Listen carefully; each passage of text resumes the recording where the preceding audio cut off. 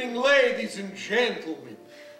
On behalf of Channel 20 in the nation's capital, I bid you welcome to Nightmare Theater. I am your host, Dr. Cerberus. Doctor, because I have PhD in fear.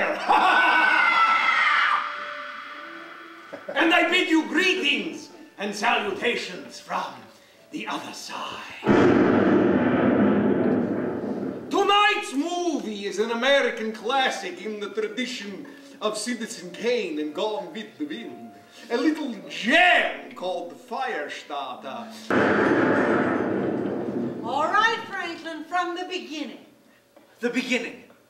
You were a little kid lying in bed, waiting to go to sleep, wishing you were someone else. Whatever that thing is, your secret dream of yourself.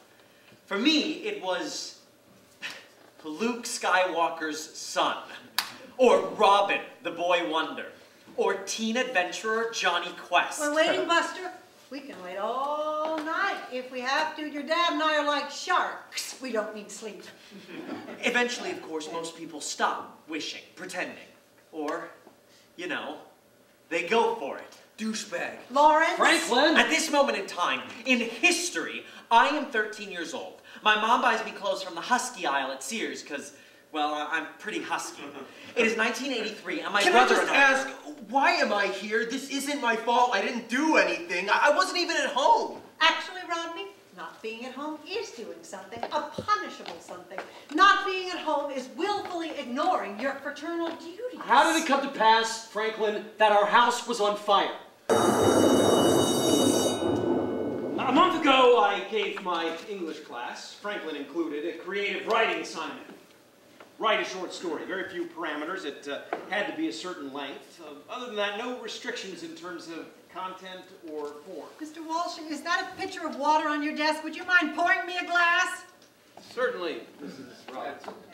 Christ, Lydia. Any anxiety medication, Mr. Walsh. As you can imagine, I have a lot of anxiety in my life from my family and my full-time job. Oh, yes, indeed. I'm like those Enjoli ladies in the commercials. I bring home the bacon and I fry it up in the pan. You were saying, Mr. Walsh? Uh, after I collected the stories and started reading them, I noticed a trend. Oh? Many of the stories were let's call them similarly themed. I, I, I can explain. I would have explained. How many? Seven, including Franklin's. The stories, the uh, abominable ivy, the death clock, your corpse I shall carve, voodoo you trust, pledge to Satan, demon from the deep, and the one that Franklin submitted under his own name, Oh, Mom, oh, Dad, you've sent me away to summer camp, and I'm so sad. You want to kill us?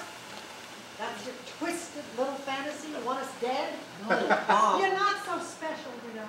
Every teenager is sensitive, is misunderstood. Every teenager wants to kill his parents. The cannibalism, that's an added layer. But the murder, murder, every teenager wants to run away to New York and be a star. You think I didn't want that? It's just. you think I don't still? It's just a story, Mother. Yes, you keep saying that, but then I wake up in the middle of some night and you're looming over me with a steak knife and a bottle of barbecue sauce. well, you just go ahead and try it, my little carnivore. You try it, and you see what happens. I bite back.